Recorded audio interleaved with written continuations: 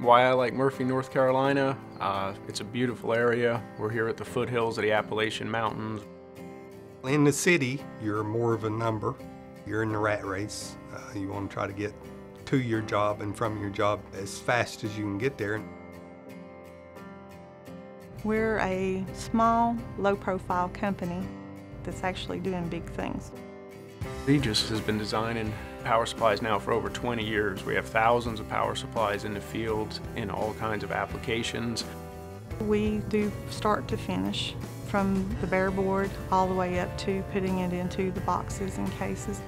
Being a small company, each person has more responsibilities. So as a design engineer, I'm responsible for the electrical, the mechanical, the integration, the test, the full scope of the project. See, in a big company, they have a mechanical engineer. They have a thermal engineer, they have a reliability engineer, and they need all of that to develop their unit.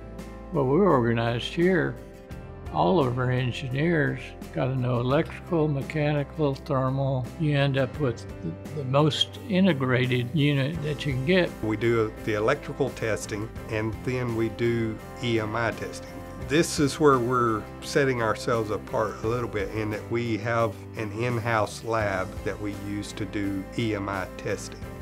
Now, there's not a lot of companies out there, especially our size, that has that capability. Every customer that comes to us has a different set of requirements and it's never the same thing.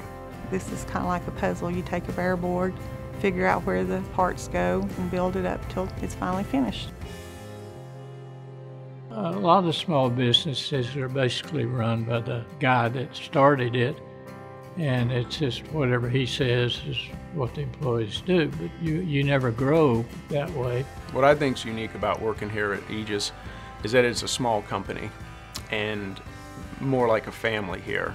We have raised our children together until my age here, where some of us are grandparents now. We've, we've seen weddings. We have a history as an Aegis family that some people that are blood related claim to be family don't even have. There's a lot of power supply manufacturers out there, and some some of them do a good job. I don't think there's a lot of people who can say they work with a group of people that they enjoy working with and, you know, and love working with. So if you're, you know, angry by the time you get to work, uh, it's hard to start doing your job and do it successfully. That sets us apart, I think.